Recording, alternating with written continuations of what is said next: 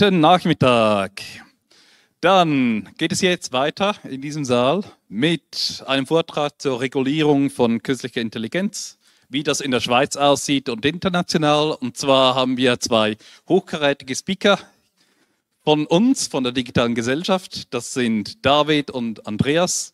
Und sie sind auch Teil der äh, Gruppe innerhalb von der digitalen Gesellschaft, die sich mit diesen Themen auseinandersetzt. Viel Spaß mit David und Andreas. Ja, vielen Dank äh, für die Einleitung. Ähm, ich bin Andreas, das ist David. Wir sind beide Mitglieder der Fachgruppe ähm, Automatisierte Entscheidungssysteme. Der David ist außerdem noch der Sprecher dieser Gruppe. Vieles von dem, was wir heute präsentieren, oder eigentlich alles, ist in dieser Gruppe erarbeitet worden. Und ein spezieller Dank geht noch an den Christian Sick. Ich weiß nicht, ob er heute da ist. Ähm, mit ihm haben wir viele Sachen noch diskutiert ähm, vor, vor kurzem im SBB-Restaurant. Also viele von, von deinem Input sind hier auch drin. Gut, ähm, Regulierung künstlicher Intelligenz, Schweiz und international. Uns geht es darum, vorzustellen, dass eigentlich schon sehr viel passiert international und dass deswegen eigentlich auch, dass, dass wir denken, dass deswegen in der Schweiz auch etwas passieren müsste. Dann schauen wir uns an, was international gemacht wird. Da gibt es ähm, viele Unterschiede, aber es gibt auch sehr viele Gemeinsamkeiten, sehr viele Trends, ähm, die man dann eigentlich auch einfach übernehmen könnte. Ähm, und im, im größeren Teil schauen wir uns dann an, wie sieht denn unser Regulierungsvorschlag aus für automatisierte Entscheidungssysteme in der Schweiz. Ja, und dann tauchen wir doch gerade in die Thematik ein. Um was geht es eigentlich heute bei uns? Um, wie schon gesagt, automatisierte Entscheidungssysteme oder Automated Decision Making Systems auf Englisch. Heute ist ja alles auf Englisch. Oder kurz ADMS. Und diese Abkürzung ADMS müsst ihr euch merken, weil die kommt immer wieder vor in diesem Vortrag und auch sonst bei unserer Arbeitsgruppe. Aber grundsätzlich, diese Systeme, die brauchen Daten, um Entscheidungen zu fällen. Ja, zum Beispiel biometrische Daten oder Ausbildungsinformationen über Leute, ähm, Jobinformationen, Kaufhistorien, Saläre und so weiter. Und diese werden in so ein ADM-System, ein Automated Decision-Making-System hineingefüttert und hinaus kommt eine Vorhersage, eine Klassifikation und eine Bewertung. Ähm, und ja, diese Automated Decision Making Systems, diese ersetzen oder unterstützen Menschen bei der Entscheidung. Und auch hier würden wir gerne ähm, darauf hin, also ein bisschen verstärkt darauf hinweisen, dass eine Unterstützung auch schon starke Einflüsse hat. Also es geht nicht darum, dass alles komplett automatisiert ist. Und um das ein bisschen einzu, ähm, einzugrenzen, über was wir eigentlich sprechen, ziehen wir das Pferd von hinten auf und sagen, ja, wir betrachten Automated Decision Making Systeme, die die sensible Lebensbereiche von Menschen beeinflussen. Das heißt zum Beispiel Ausbildungsmöglichkeiten, Gesundheitsergebnisse, Arbeitsleistung und so weiter. Und ein, äh, ein wichtiger Punkt hier ist, dass wir es damit von dem generellen Begriff der KI abgrenzen. Wir wollen nicht künstliche Intelligenz ähm, regulieren, weil wo sieht man die Grenze zwischen ähm, einem einfachen Algorithmus, der einfach Ja-Nein entscheidet, bis hin zu diesen hochkomplexen Systemen. Aber wo ist eigentlich das Problem, wenn wir von diesen Systemen sprechen? Hier haben wir ganz einfach dargestellt der Entwicklungszyklus von einem solchen System. Also links haben wir die Daten, darauf werden diese Systeme trainiert. Ähm, da gibt es Entwickler in dieser blauen Box, die ziehen, die ja, benutzen einen Trainingsalgorithmus, irgendein automatisiertes System, das dann irgendwelche Zahlen ausspuckt und diese Zahlen, das ist dann dieses ADMS, dieses Automated Decision Making System, das dann von Leuten hier in Orange und Gelb benutzt wird, die nicht unbedingt verstehen, wie es genau entwickelt wurde oder was in, innen drin passiert. Und der Output in dem Beispiel hier, das Alter und der Job wird benutzt, um ein Gehalt vorherzusagen. Das ist natürlich ein sehr einfaches Beispiel. Aber die Probleme die beginnen schon ganz am Anfang ähm, bei der Datenqualität, oder? Ähm, wenn man nicht aufpasst und die Daten verunreinigt sind, vielleicht Kommafehler drin hat, dann ist natürlich, was hinten rauskommt, nicht so zuverlässig.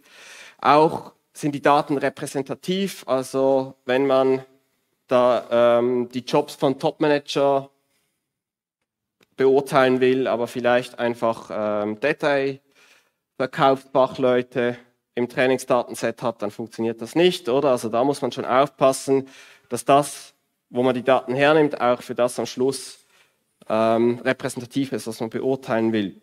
Dann gibt es auch der sogenannte Bias, den man immer hört von diesen Daten. Ähm, das sind Strukturverzerrungen, die ganz natürlichen Daten drin sind. Das ist ein Abbild von der Gesellschaft. Zum Beispiel, äh, wenn wir ähm, Einstellungschancen beurteilen auf historischen Daten. Früher wurden Frauen ähm, so zwischen 25 und 35 eher nicht eingestellt, weil sie schwanger werden könnten oder das ist nicht gut für die Firma. Ähm, ja, das will man dann nicht drin haben, aber die Daten sagen das trotzdem und da muss man hier explizit korrigieren. Das ist etwas, auf das man aufpassen muss. Genauso der Algorithmus selbst, den man benutzt, der hat vielleicht eine begrenzte Darstellungskraft, er ist vielleicht zu einfach, er kann die Komplexität nicht abbilden oder ist zu kompliziert. Was man machen will, verschwindet im Rauschen vom Algorithmus. Genauso die Entwickler, die treffen Annahmen, ja, sie kommen aus einer verschiedenen Kultur. Ähm, zum Beispiel die Frage, soll das selbstfahrende Auto die alte Person oder das junge Kind überfahren, wenn es sich entscheiden muss. Diese Frage wird zum Beispiel in asiatischen Ländern ganz anders beantwortet als bei uns.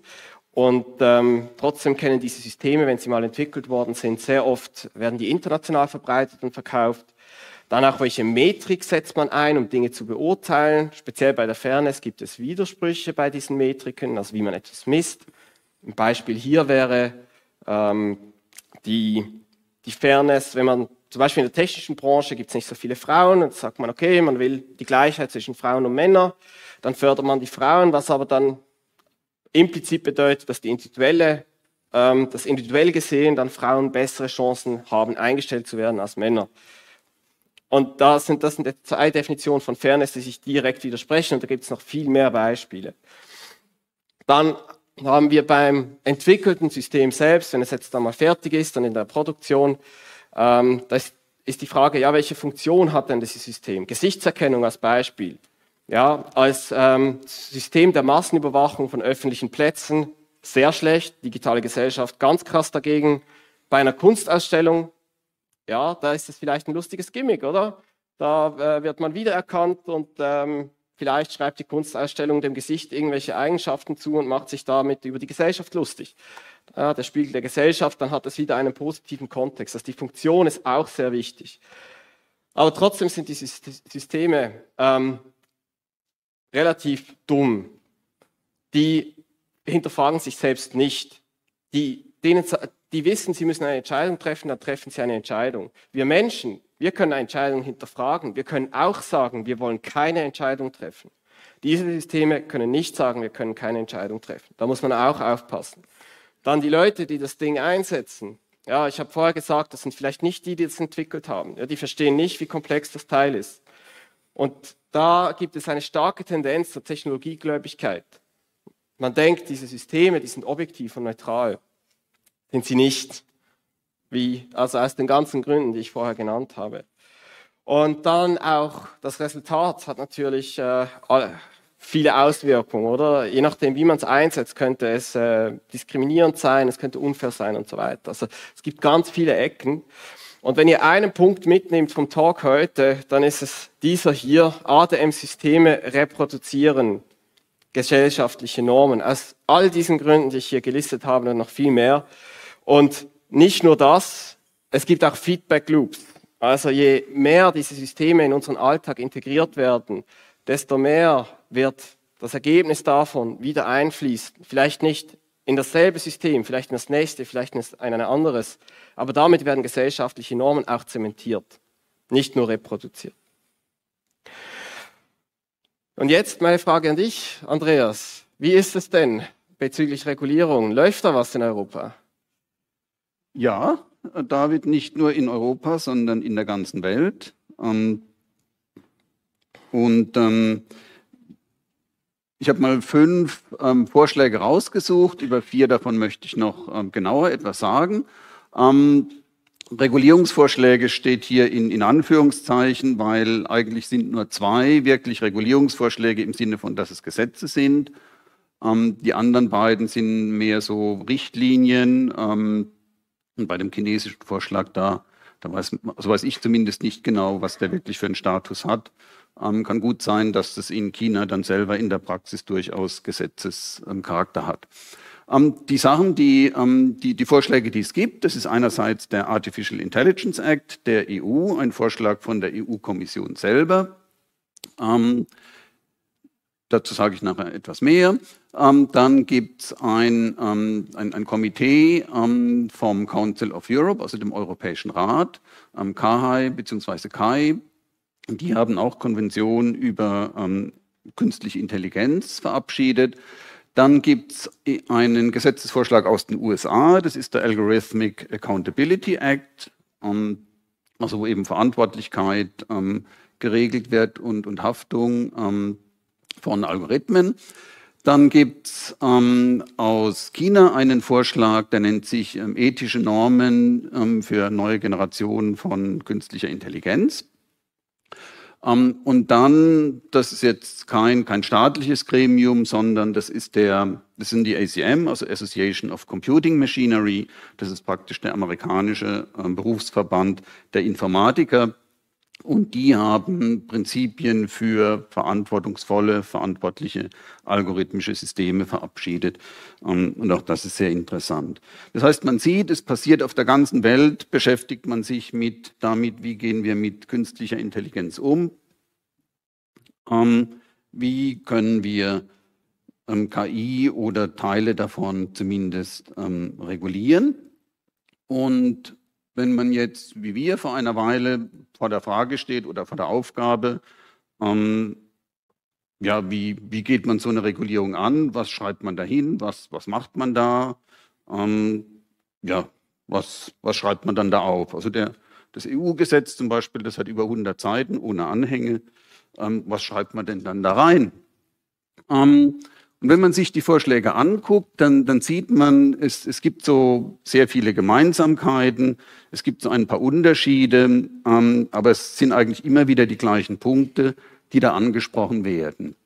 Also generell wird anerkannt, es gibt einen Regulierungsbedarf, also man muss, man kann automatisierte Entscheidungen, künstliche Intelligenz kann man nicht einfach frei in, in der freien Wildbahn einfach machen lassen, sondern man muss da Leitplanken setzen und, und eben das Ganze regulieren.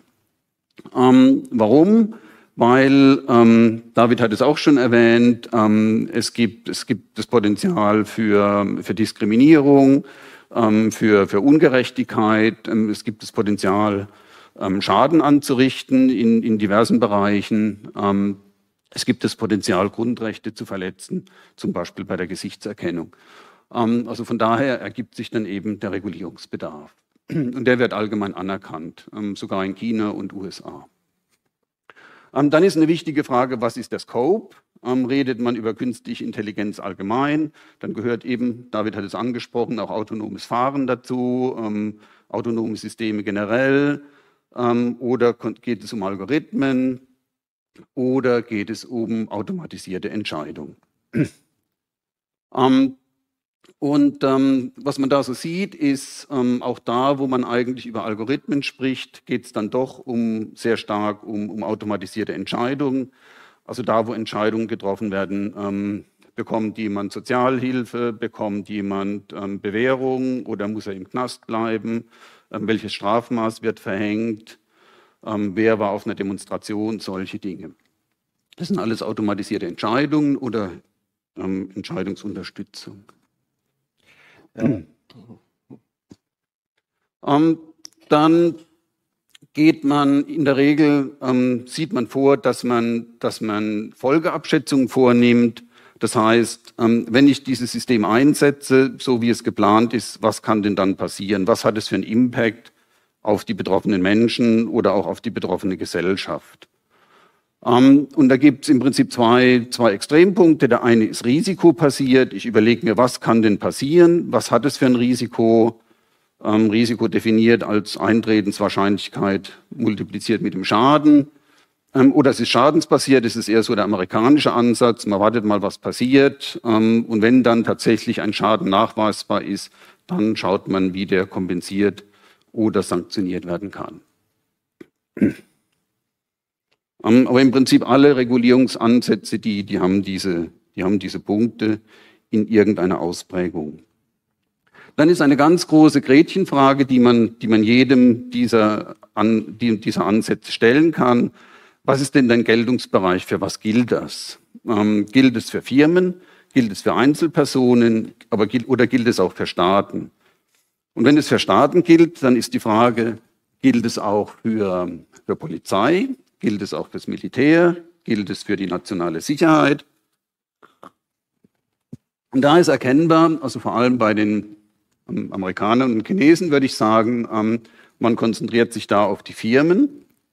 Ähm, das heißt, der KI-Einsatz oder der ADMS-Einsatz, zum Beispiel Gesichtserkennung durch den Staat, ist nach wie vor erlaubt. Also Überwachung wird nicht eingeschränkt oder reguliert.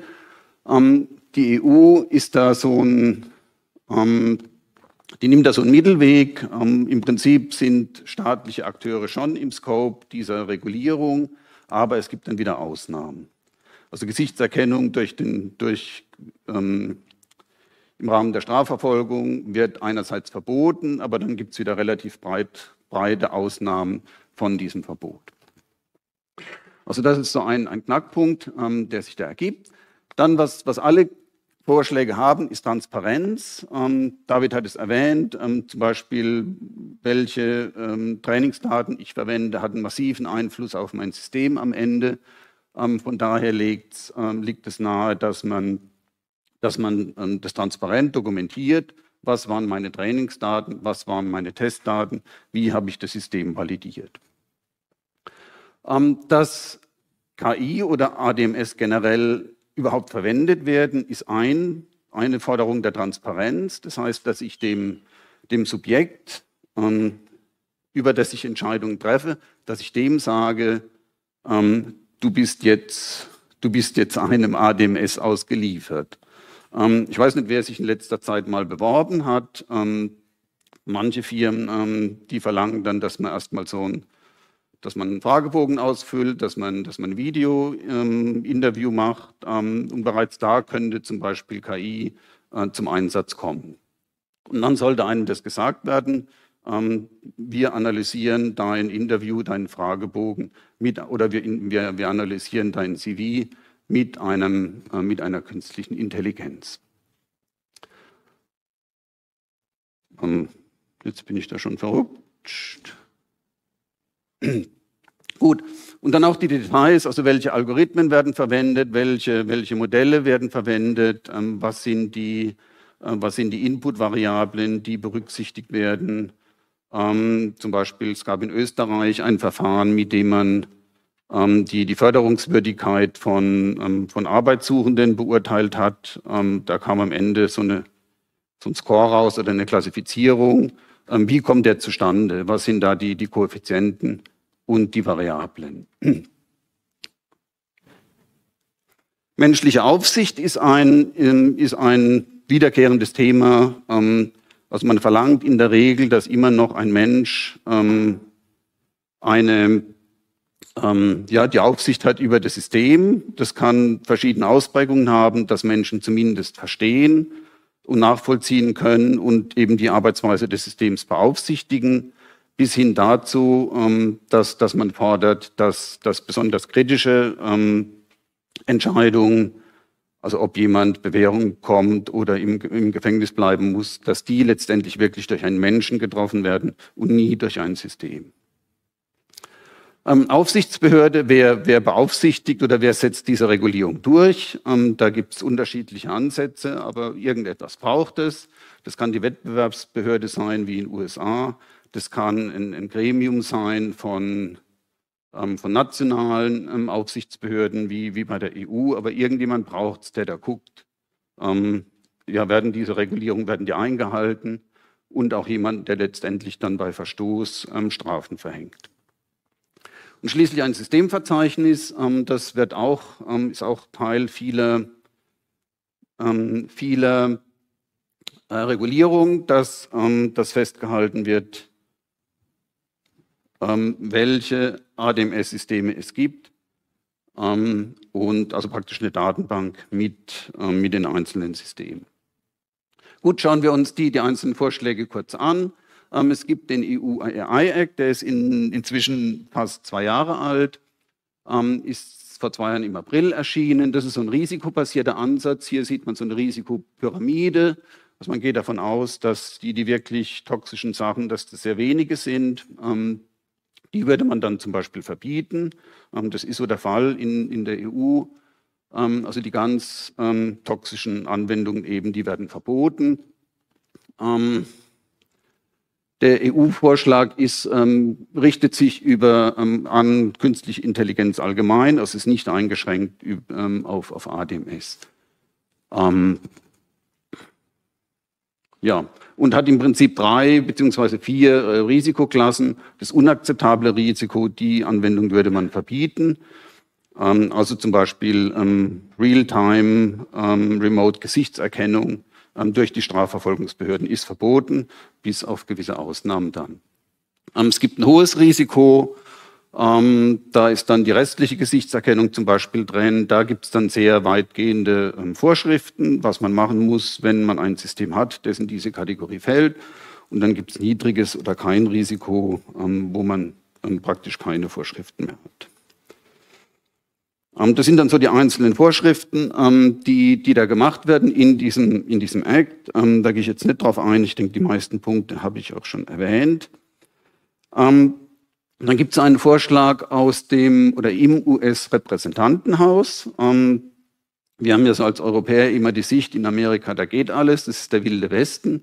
Das stimmt nicht. Da gibt es einige Vorschläge in diesem Bereich und unter anderem eben den sogenannten Accountability Act.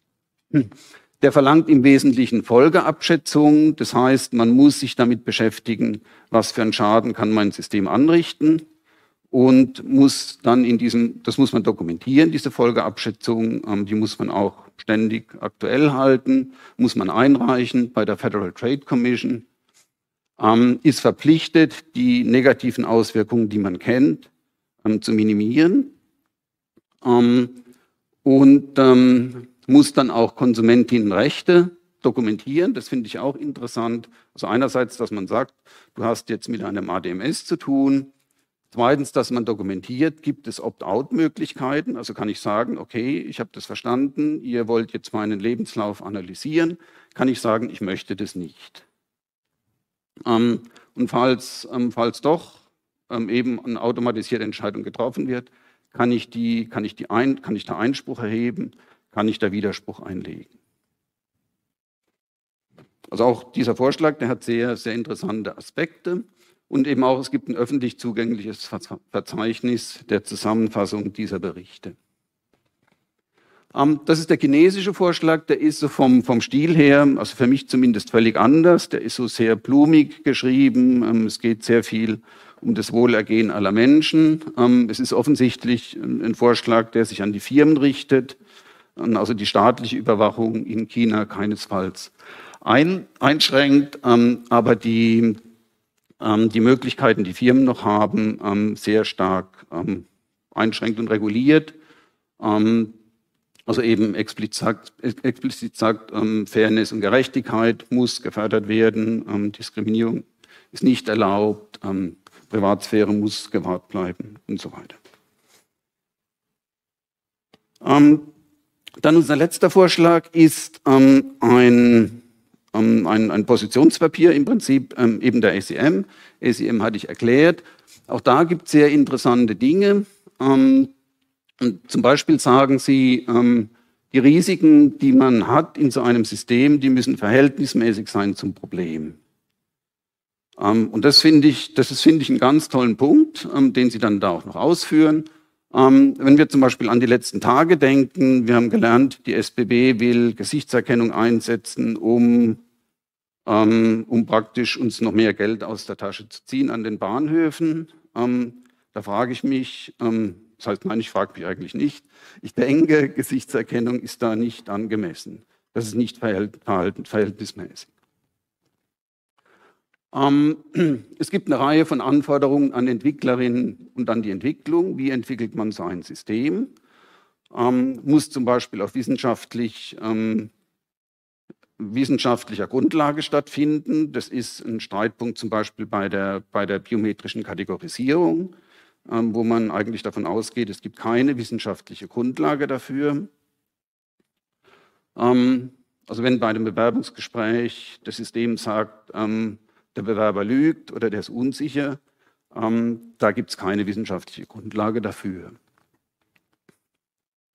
Ähm, ja, und dann auch einige Transparenzanforderungen.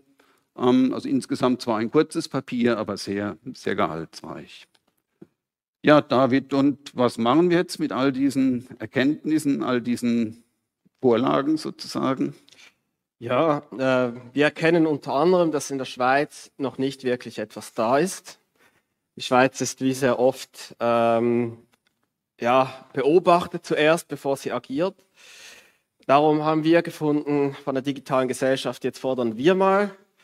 Und unsere Forderungen ganz kurz zusammengefasst gehen folgendermaßen. Also, ähm, wir fragen uns, warum wollen wir regulieren?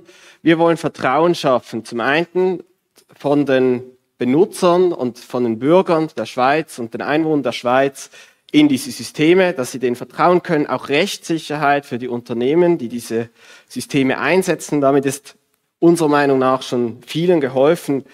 Ähm, was sehr viel diskutiert wird, auch in der Schweiz, ist, was will man eigentlich regulieren?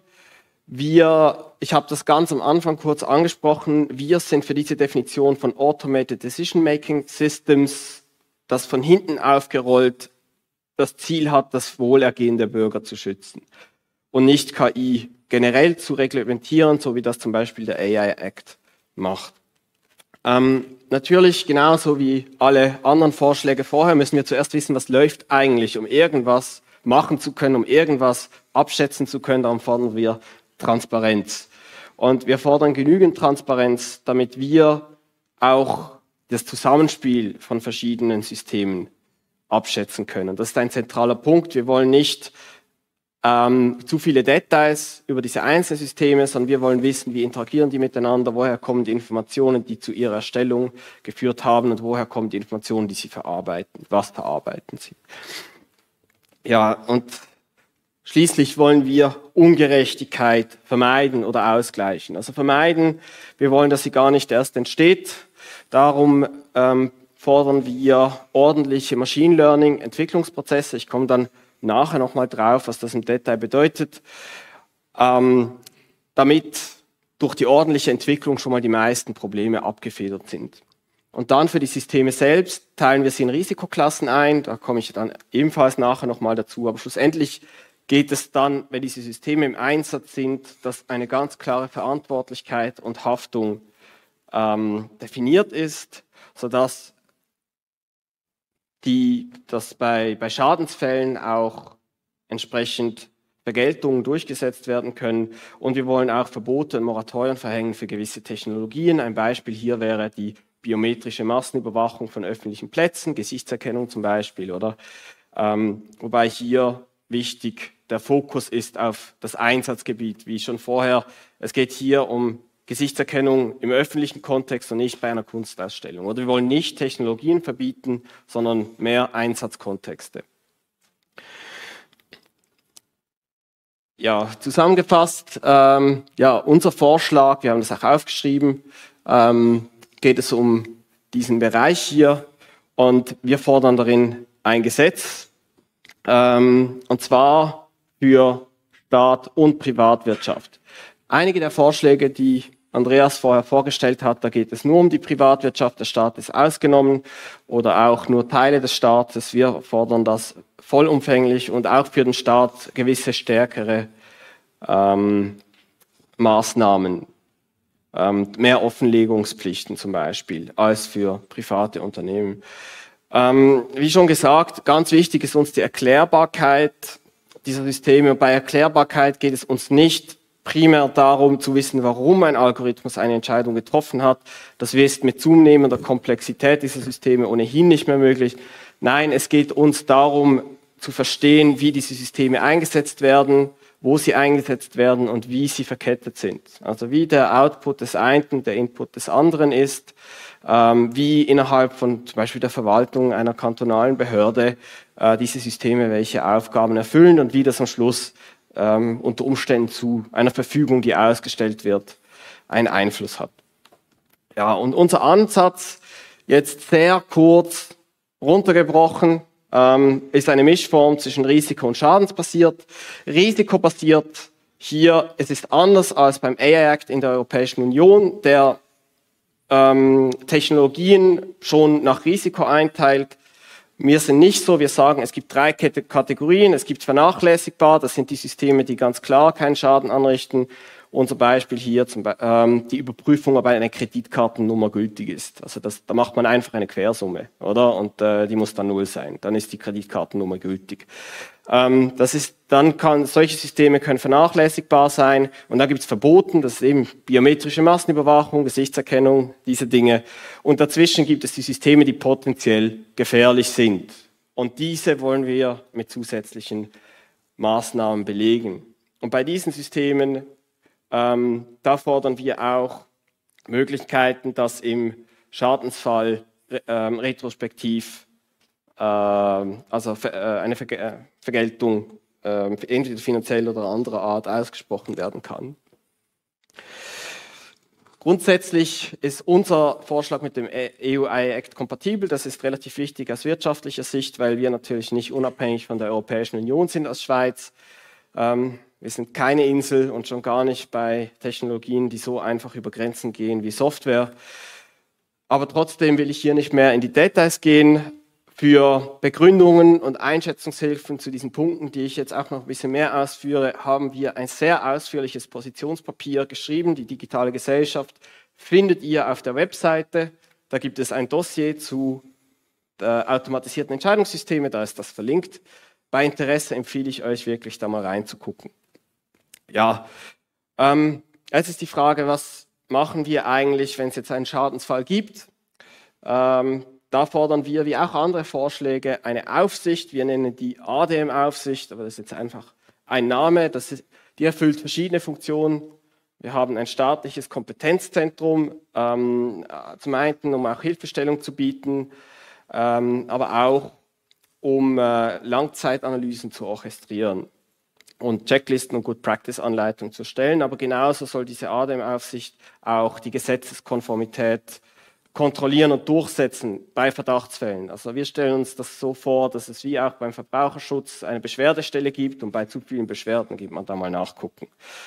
Ähm, ja, und wir fordern weiter ein Verbandsklagerecht, speziell bei diesen Entscheidungssystemen, ähm, dass auch Verbände klagen können ohne persönliche Betroffenheit. Das ist vor allem wichtig bei ganz großen Konzernen wie zum Beispiel diesen äh, internationalen äh, Computerfirmen. Ich nenne jetzt keine Namen, ihr könnt ihr euch vermutlich vorstellen, wen ich meine. Und wir fordern auch eine Be Beweislastumkehr, da hier eine relativ, vor allem im privaten Sektor, eine relativ starke Asymmetrie zwischen Kläger und Beklagten vorliegt. Also wenn ein Gericht auf die Klage eintritt, dann muss das Unternehmen aufzeigen, dass es diese Systeme ordentlich entwickelt hat, dass es die Vorsichtsmaßnahmen getroffen hat ähm, und dass, dass es keinen Schaden anrichtet. Aber wie gesagt, das ist nur, wenn ein Gericht, Gericht auf die Klage eintritt, das ist nicht für alle Fälle, das ist nur für die schweren Fälle. Jo, und damit das Ganze dann auch funktioniert, ähm, fordern wir auch Strafen, die entsprechend hoch sind, also umsatzabhängig und es sollen Verwaltungssanktionen sein, es soll nicht, es soll nicht möglich sein, in Firmen irgendwelche Sündenböcke zu definieren und die gehen dann ins Gefängnis, wie es in der Vergangenheit oft passiert ist, sondern es soll wirklich äh, da, wo es den CEOs wehtut, nämlich beim Jahresgewinn, soll es schmerzen. Und jetzt, wie viel Zeit haben wir noch? Ähm, ja, komme ich kurz zu den Entwicklungsprozessen. Wir haben noch zehn Minuten, das reicht gut. Was meinen wir mit Entwicklungsprozessen von Machine Learning. Jetzt wird es ein bisschen technisch, aber grundsätzlich, wenn man so ein System entwickelt, dann beginnt man, man, ja, man überlegt sich, ja, für was will ich eigentlich dieses System entwickeln, in welchem Rahmen will ich das machen. Ähm, damit entwickelt man einen Prototyp, dann guckt man, ja, okay, könnte funktionieren, dann beginnt man die ordentliche Entwicklung. Dann gibt es auch eine Operationalisierung, vielleicht DevOps sagt vielleicht einigen von euch etwas, das gibt es jetzt auch schon bei Machine Learning. Und dann am Ende kommt der Betrieb von diesen Systemen. also der Alltagsbetrieb. Und wenn ihr jetzt ein bisschen eintaucht hier, also bei der Vision, wenn man mal guckt, was wir mal machen, dann muss man gucken, ja, die Daten, die ich verwende, haben die die richtige Qualität? Kommen die daher, ähm, sind die aus einer Quelle, wo dann auch vermutlich die Leute stammen, die beurteilt werden mit diesen Systemen? Ähm, man muss auch den Einsatzzweck von vornherein festlegen und sich daran halten. Man kann nicht ein System für Einsatzzweck A entwickeln und es dann für B einsetzen, weil dann ist die Wahrscheinlichkeit hoch, dass es nicht richtig funktioniert. Man muss auch die Anforderungen klar definieren, weil die werden dann in der Entwicklung, muss man denen folgen und gucken, dass man sich an die Rahmen hält, sonst ist man oft außerhalb des Einsatzzweckes. Und man muss sich auch überlegen, was ist das Schadenspotenzial. Und wenn man dann mal entwickelt, dann überlegt man sich, welche Metriken setze ich ein, was will ich eigentlich messen. Ähm, beim Prototyp schon, weil die entsprechenden Messungen haben einen Einfluss darauf, was man eigentlich an Schadensfällen alles entdecken kann, bevor sie überhaupt passieren. Und man muss natürlich auch Annahmen überprüfen und so weiter.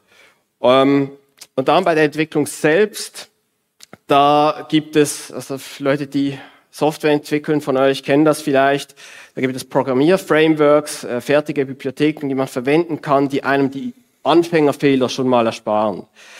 Und dann ist es auch wichtig, ähm, dass man nicht ähm, von vornherein so einen riesen Klotz schreibt, sondern ähm, nach und nach ordentlich, äh, also man beginnt klein und wird immer größer, dann, dann findet man auch mehr Fehler.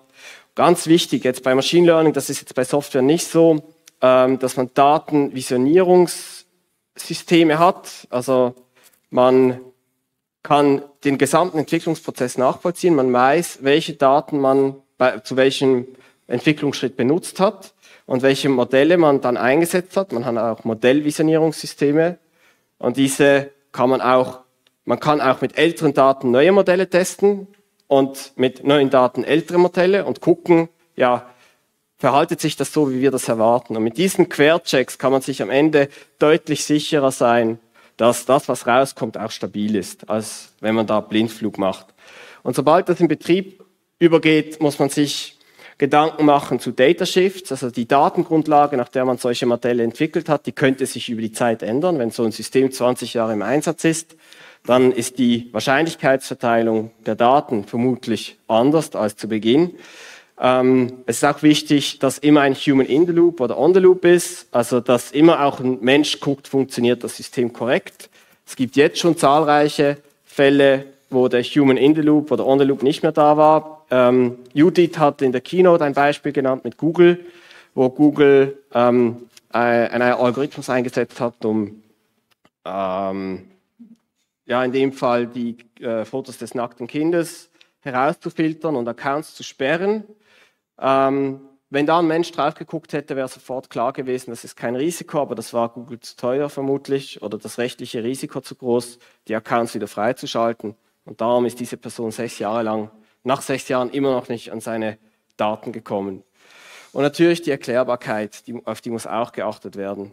Und das Gute ist, wenn man dieses, diese, diesem Framework folgt, das ich jetzt hier sehr oberflächlich abgebildet habe, all die Transparenzanforderungen, die regulatorisch gelten, äh, gelten werden, vermutlich in naher Zukunft, die fallen automatisch aus so einem Framework raus. Die ganzen Informationen hat man schon gesammelt. Da muss man, kann man automatisch fast einen Bericht generieren, oder? Darum wollen wir auch uns dafür einsetzen, dass das hier geltende Praxis wird bei der Entwicklung. Und damit kommen wir jetzt zum Ende, um nochmal ganz kurz zu resümieren. Ähm, es gibt diverse Aktivitäten äh, auf diversen politischen Ebenen, ähm, kantonal, ähm, gibt es viele Motionen, die eingereicht werden. National wird das viel diskutiert, aber eben es gibt noch keine konkreten Vorschläge. Und natürlich auch supranational, wie da Andreas sehr viel ausgeführt hat.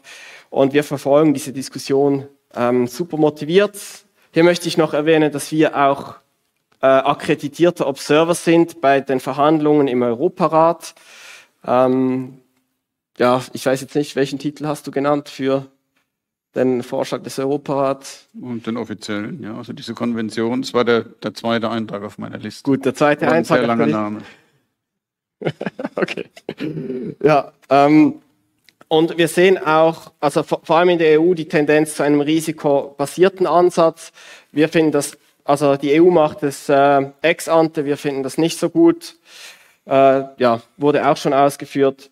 Dann hier noch ein Punkt, der noch nicht erwähnt wurde. Es gibt auch eine Tendenz zur Zertifizierung, ähm, dass ja, man quasi die Verantwortung als Entwicklungs- und Betriebsunternehmen auslagert an andere Unternehmen und die hauen dann Stempel drauf, sagen, das ist gut.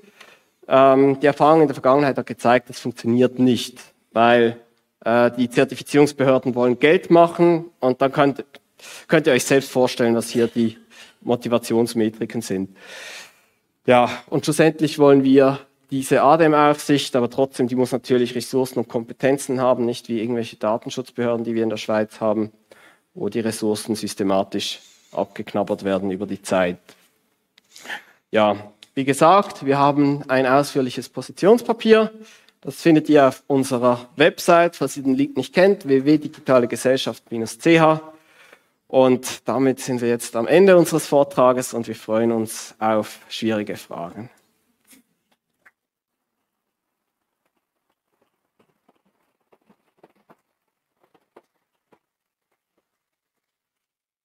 Ja, vielen Dank, Andreas und David. Wenn ihr Fragen habt, reiht euch bitte da am Saalmikrofon ein, äh, damit die Leute im Stream zu Hause oder in der Badewanne oder wo sie auch immer sind, äh, irgendwie mitbekommen, was ihr fragt.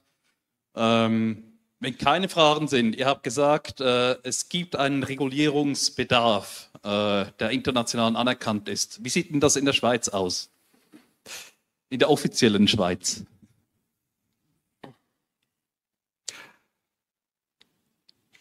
Ähm, also ich sage, ich fange mal an, du kannst ja dann weitermachen. Ähm, also es gab vor einer Weile ähm, einen, einen Bericht zur Situation der KI in der Schweiz. Ähm, der war vom, vom Bundesrat, ich weiß, weiß nicht genau welches Departement und der war extrem langweilig zu lesen, für mich zumindest. Ähm, und es stand irgendwie drin, ja, ist eigentlich alles super, ähm, wir müssen nicht viel machen.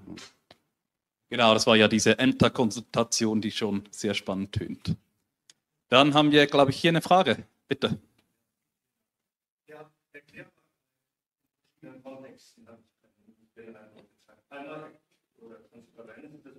Moment schnell, ich glaube, das Mikro geht nicht.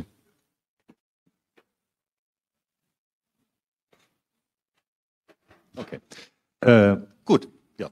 Ähm, ihr hattet Erklärbarkeit in äh, leicht unterschiedlichen Kontexten gezeigt. Einmal Erklärbarkeit, wie dieses System als Teil von einem größeren System funktioniert. Und hattet kurz gesagt, die individuelle Erklärbarkeit der Entscheidung wäre vielleicht nicht ganz so interessant. Wie seid ihr auf diese Unterscheidung gekommen? Also, wir haben nicht gesagt, dass sie nicht interessant ist. Weniger. Ähm, das Problem ist, je komplexer die Systeme werden, desto weniger ist es für Menschen nachvollziehbar, warum sie zu gewissen Entscheidungen kommen. Ähm, also wenn wir speziell über neuronale Netzwerke sprechen mit Milliarden an Parametern, also Milliarden an Zahlen, die eine Berechnung beeinflussen, am Schluss diese Systeme, die nehmen Input, was eine Zahl ist, und die rechnen da Milliarden mal plus und minus mal und durch und dann kommt hinten irgendwas raus. Das ist schwierig nachzuvollziehen. Bei einfacheren Modellen geht das noch.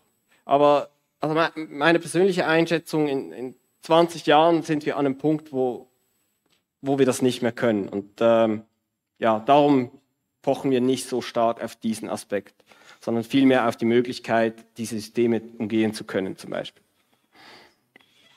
So, wir haben noch eine Minute. Danke.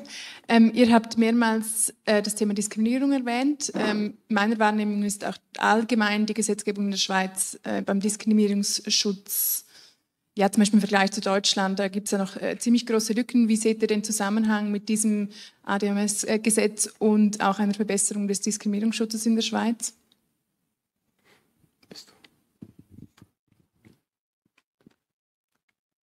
Um.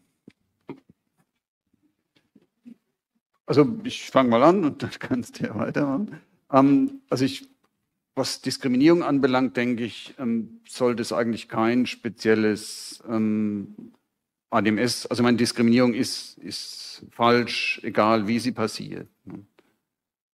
Ähm, ob, sie, ob sie jetzt automatisiert ist oder ähm, oder rein menschlich äh, nicht automatisiert. Ja, also der Diskriminierungsschutz in der Schweiz ist relativ einfach. Der geht nur auf ganz spezifische Attribute, wie ich kenne es jetzt nicht auswendig. Rasse ist eines, äh, Geschlecht, Alter und die sind explizit gelistet.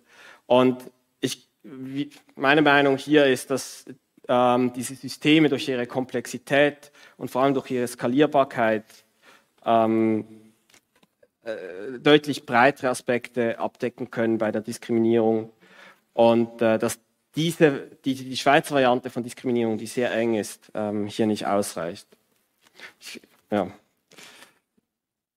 Äh, nee, wir müssen leider hier Schluss machen. Nochmals vielen Dank, Andreas und David. Ihr seid ja sicher noch hier auf dem Kongress. Und nochmals vielen Dank an euch.